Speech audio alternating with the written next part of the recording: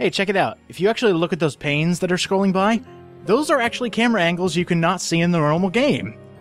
Well, I thought it was a little interesting. What's going on, everyone? It's the Niskel. Welcome back to Resident Evil Code Veronica X.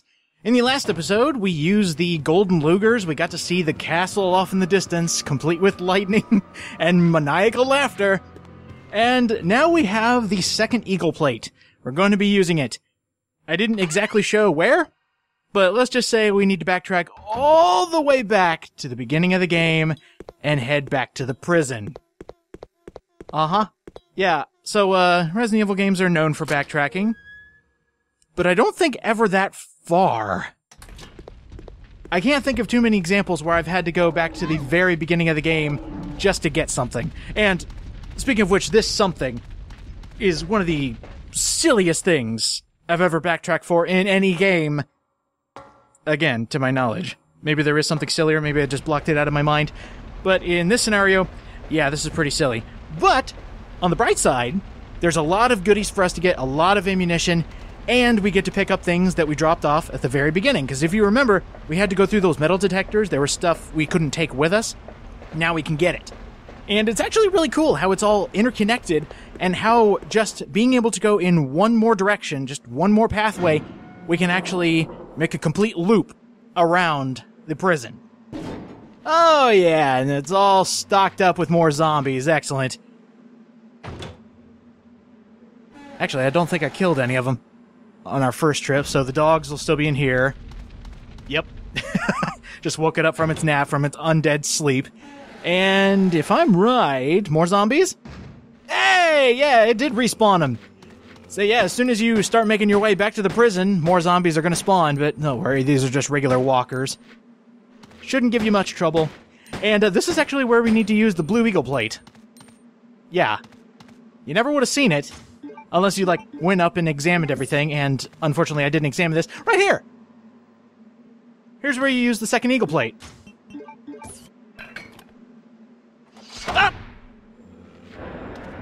Oh my gosh! Oh, jeez. Jump scares all over the place. It brings in the scary music for two zombies. Y- you don't need to worry about it. It's two walking zombies. Now, if all of a sudden they threw dogs into the mix, okay, that would be worth the music. There you go. Two walkers down. We got a brand new area to explore. Let's go. And I should mention, on your way back to the prison, be sure that you have the hemostatic medicine either in your inventory or in the box. Okay? Because you're going to be using it here. Just keep that in mind. Every time I play this, I always go back here, just want to make sure there's nothing I'm missing, but come back here first. This is your prison box. This is where you're going to be putting all your stuff. This is the only box in the prison. So pick up everything, and this is really cool. Like I said, it's all connected. Yeah, something is in the way. How about the box you're currently climbing on, Claire? Let's go ahead and move this box out of the way. And then, when we go through the door, yeah, check this out. It's all connected. Because, oh my gosh, look at this! this is where we ended the first episode. This is where we met Steve again, and he was going, Wow, Chris Redfield. No relation to the girl I met earlier. But yeah, here you go. Please deposit any metallic We can pick up what we left off here. And uh, yeah, I'm not putting anything in here. I'm taking these. And uh, speaking of the those things we're actually picking up, and I wanted to lock those zombies in for all eternity. But the BOW gas rounds, I talked about them in a previous episode. Those are the only ones. The BOW gas rounds that you pick up at the very beginning of the game are the only ones you get. Use them sparingly. You only got three shots. And again, those are crowd clearing, actually room clearing, uh, gas rounds. Highly effective against bosses. So keep in mind that those are like the ultimate weapon that you get in here for three shots. So it definitely of save those for later. My gosh, those are really, really good. And actually, the BOW gas rounds, it actually has to do with the Epsilon gas, and I think that is a that's something harkening back to Resident Evil 2. Uh, Postex, help me out on this. What exactly is P epsilon gas? Thank you. Always the fountain of knowledge you are.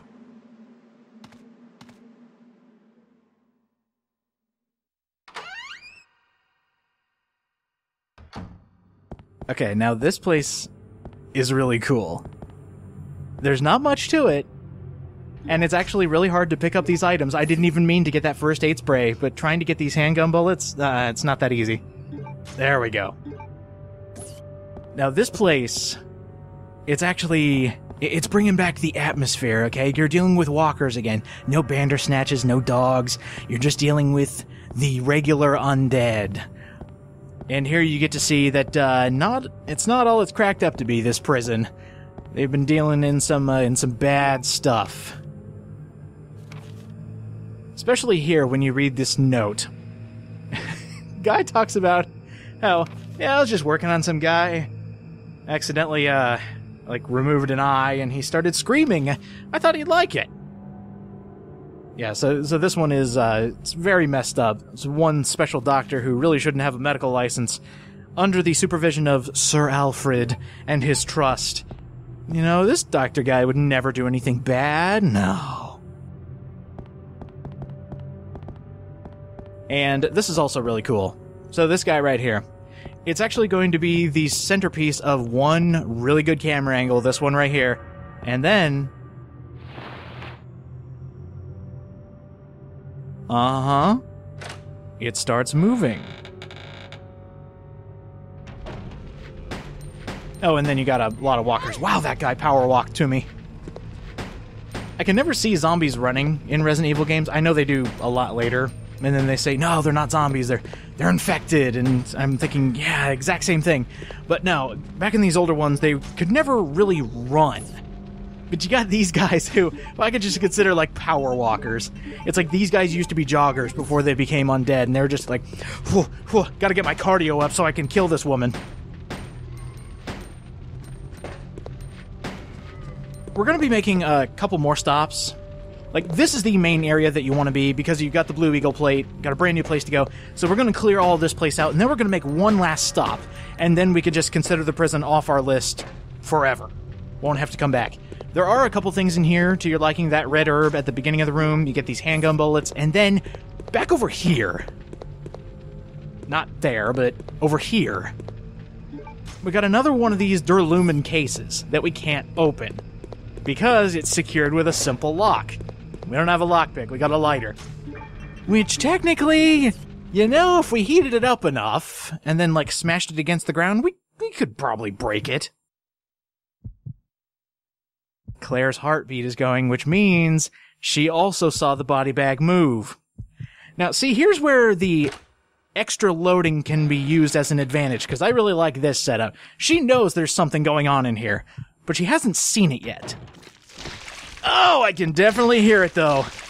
Oh, that sounds disgusting. By the way, gear up for war, because this guy's tough.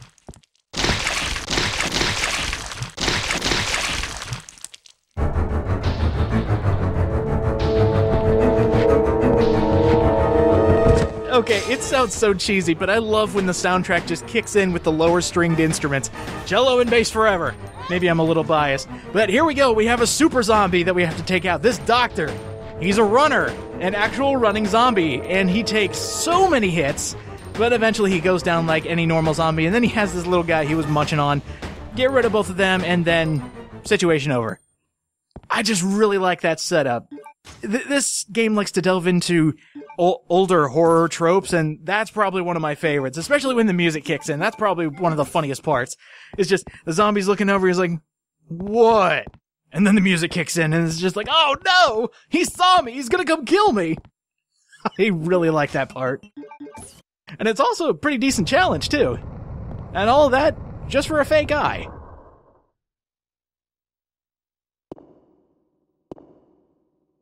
How far down does the rabbit hole go? I can tell you it's another place with bats.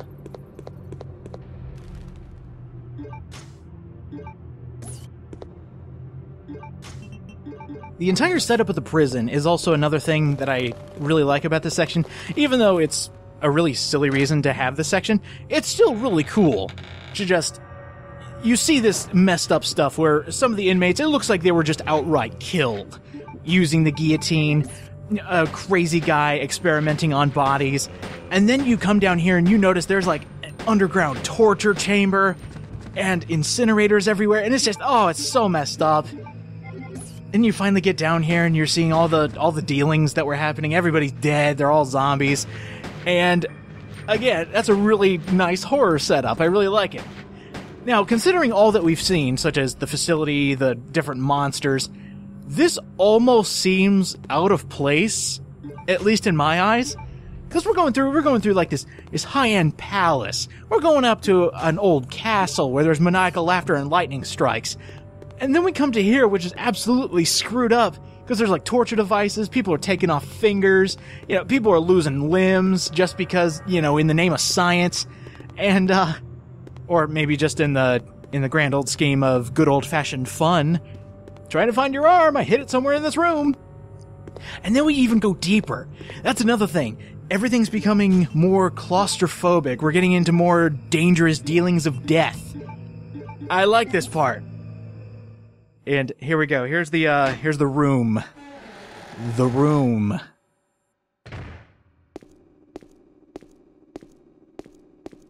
Doesn't seem like much. Take note of the floor there. Oh, sweet! We get to use a sword! Uh oh. Huh? Oh no. Well, of course there would be a gas trap. See those open vents? You gotta think, well, it's either gonna be water, gas, or, you know, nothing. Maybe it's just the drainage place. This is where all the water comes in so the place doesn't flood. Really simple puzzle. As soon as you take the sword, turn that dial all the way, and then we get to see a lovely Iron Maiden. Huh. Well, the only reason we had that sword is just to stab it into the Iron Maiden. Wait for it. Oh my god! And I also love this zombie. It, didn't just like lose the sword, it's actually sticking out of the guy. Oh, that's that's really funny to me. A lot of good moments here in this other half of the prison, except for this. Really? We came to the prison, fought through all this messed up tortury stuff for that. For an out of place piano roll that was inside an Iron Maiden with a zombie that you had to stab through the chest just to open the Iron Maiden, all for a piano roll that can only be used, mind you, in the palace. So immediately scenarios are going through my head, especially when I saw this like years later. I was going, oh my god. So this guy, this is almost the same as the biohazard card. So I'm thinking, so this guy, you know, maybe he's the, maybe he's the bartender, maybe he's the piano player over in uh, Sir Alfred's palace or whatever. He's, he's got this and he's like, oh man, I really want to adjust this piano roll so people can't tell that I'm not actually playing. It's actually the piano. I'll take it with me. And then he becomes the, the subject of an experiment. Like Alfred offers him like a hundred thousand dollars. He's like, "Yeah, come come do this experimentation stuff. Don't worry, we'll treat you right." He's like, "Oh, okay, hundred grand at the request of Sir Alfred. I can do that." And then he's the he's the lonely and poor son of a bitch that gets put in the Iron Maiden. And Alfred's just outside cackling, just going, "Let's see how long he lasts." and I just can't see any other. I can see plenty of other scenarios. Don't get me wrong, but that just seems so stupid and out of place. Like, why couldn't that item have been maybe a key? I can see a key, but I can't see like a guy running around with a piano roll in his pocket and then he dies via Iron Maiden and like torture. It just doesn't make sense to me. I'm overthinking it. I know for a fact I'm overthinking it. But hey, guess what? We're done with the prison. At least the main reason you were here. What we're going to do now is actually a quote unquote side mission. You don't have to do this. And what's really interesting is I looked over some uh, some speedrunning tips, and how to get some different ranks in this game because this is another Resident Evil game that ranks you at the end based on, you know, time, number of times you've died, number of retries, and it's actually really interesting to see what you have to do to get an S rank because in my opinion this is the hardest game to get a rank other than C. Anything lower than a C, chances are you'll get because this isn't a short game. This is one of the longest Resident Evil games I've ever seen, even when speedrunning it. I think uh, back in the day I used to do a lot of speedruns. I think the fastest time I was able to do was five hours. And that's just like skipping enemies, running past everybody. And I still got like five hours and it didn't give me an S. I think the highest I've ever gotten is a B. So yeah, this game's very unforgiving, and the worst part is, you have to be fast. But not only that, when you're doing your speed run, you have to do the side missions. If there's somebody that needs saving, you have to save them in order to get that S rank. It's ridiculous. Like, I'm almost wanting to look up a speed run just to see how they do this madness, what they're doing differently than I am. Maybe they're taking a different route. Maybe they they are literally like I know you can skip all the cutscenes and everything. What are you doing here?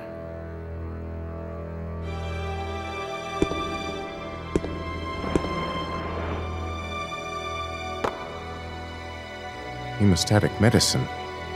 How kind of you. Thanks.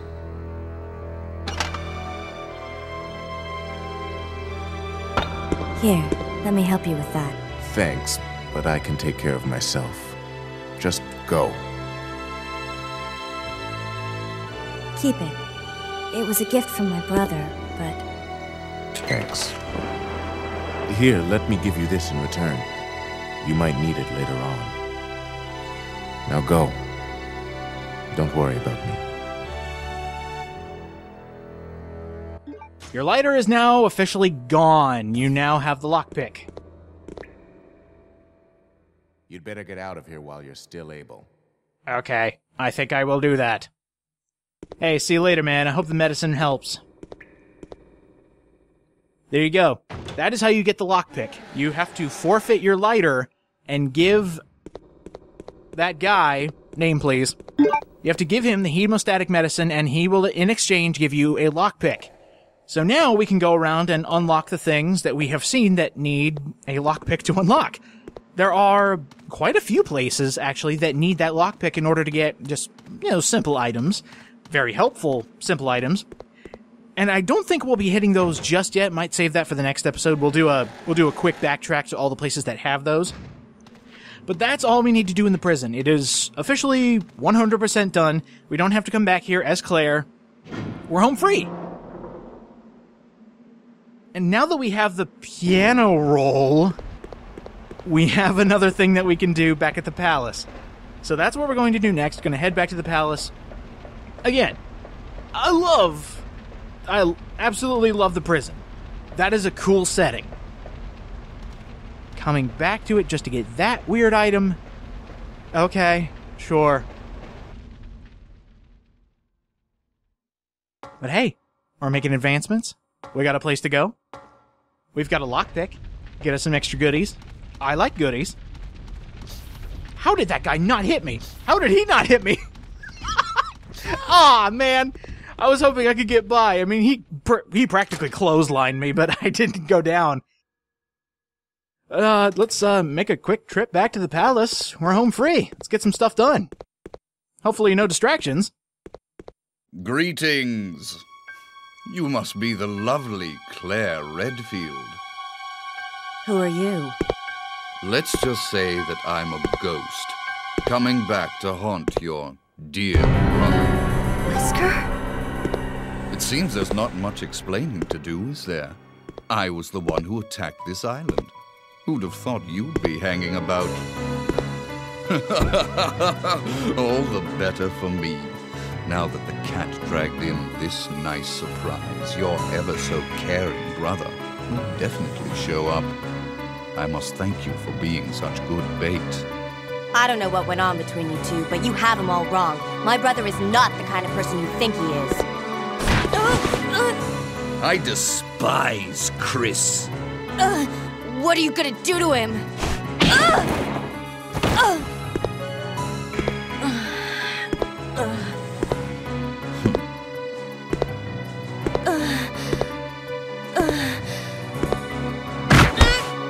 Oh, how your brother will weep to see you die.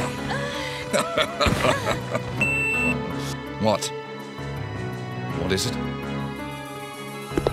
Stay there. I'm coming.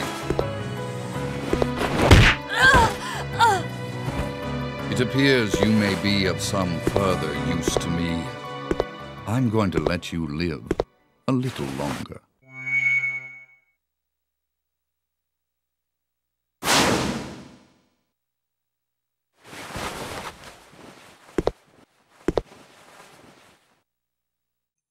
That is actually one of the new cutscenes added to Code Veronica X. A confrontation between Claire and Wesker. And believe it or not, this is the first time Wesker is seen as like a superhuman. Because the, the, he's been hinted at a couple times. Like Zero, you see him in Zero. In one, he's dead. He dies at the end. Um, spoiler alert, but if you've made it this far, blah, get over it. This is the first time we've seen Wesker like beefed up and powered up. You know what? I really like that. They give a little extra context as to who another one of your antagonists are. And then you also have. So not only do we have Alfred, we have Wesker to deal with. Excellent. That gives a little bit more to the story, gives the animator something else to do. I really like the extra cutscenes that were added from the original game. Oh, by the way, all of that, just to put the piano roll in there, and to get the blue ant. The Sapphire King Ant. Good. Good. This is fine. We have it. We are done. Now we can go back to the castle, input the blue ant, and then we can go from there. You see how silly these games can get? I mean, not just in cutscene, not just in story, but just in regular gameplay. That's one of the reasons I really like this series. Just because of how silly it can get. So, rundown. We made it to the prison. We helped our keeper. We gave the hemostatic medicine away. We have a lockpick. We are going to be going to the different lockpick places after this, but first, let's see what we actually have. Nice! Combine that with your handgun, upgraded handgun. It can now hold up to uh, 20, 20 shots, I believe. And you can now change it from automatic to manual, which means you can either shoot it in bursts of three or one shot at a time. Inside the other Duralumin case was bowgun powder. Always appreciated. Sweet. So it is advantageous to actually get the lockpick. Not bad. Alright, so going over this again, we got the lockpick, we're done with the prison, we have the new Sapphire Ant. I'm thinking next time on Resident Evil Code Veronica X, we're gonna make our rounds, we're gonna unlock everything that needs to be unlocked before we move on, because as soon as we use that ant, story's gonna happen. So we're gonna make our rounds, get some items, and then we're going to go use that blue ant and progress more. There's actually not much left to Claire's part of the story. So I will see you guys next time.